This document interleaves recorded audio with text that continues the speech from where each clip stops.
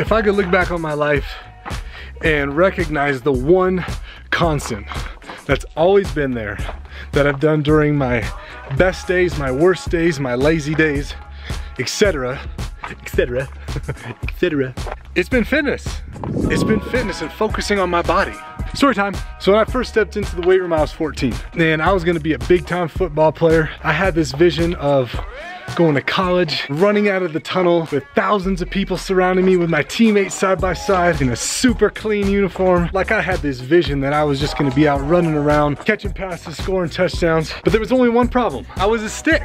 I was this skinny, undersized, freckle-faced kid who had no football experience, but I just know that I wanted to accomplish something. And I knew for a fact that if I was gonna make that happen, I was gonna have to make some sacrifices and I was really just gonna have to put in some work. And some of the guys in there would call me freckle face or chicken legs for obvious reasons. And because of that, I felt like I had something to prove.